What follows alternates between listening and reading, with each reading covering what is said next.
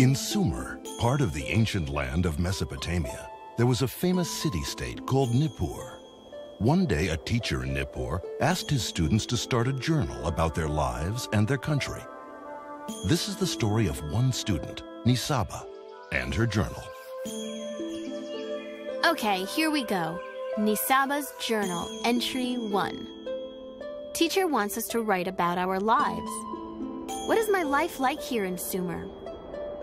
I think I'll tell the story of my people from the very beginning. My grandfather knows all about it. He says the first thing we Sumerians did was get really good at farming. My ancestors used to make their living by hunting wild animals for food. They were constantly on the move following the herds.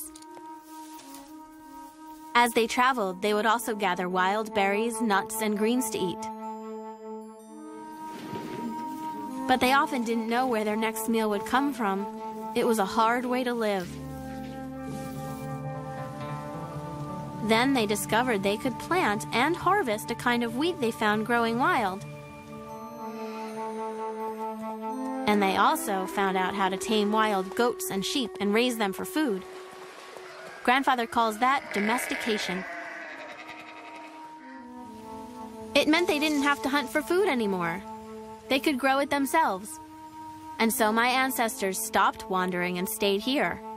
They discovered that food grows better here than almost anywhere else. That's because we're in a river valley. Right between two rivers, in fact. Mesopotamia actually means land between the rivers. One river is the Tigris, and the other is the Euphrates. My grandfather says it's easy to grow food in our valley because the soil here is so fertile. And he says that is because of the mountains up north. It snows a lot up there in the winter. When the snow melts, all that water runs down into the valley and into the rivers. Then the rivers rise over their banks and flood the valley. And they dump a lot of really good dirt on the land. It's great for growing food in. So now we eat really well. We grow barley and wheat, lots of beans and fresh vegetables, and fruits like melons, dates, apples, figs, and grapes. Our animals give us milk, cheese, and meat, and there are always plenty of fish in the rivers.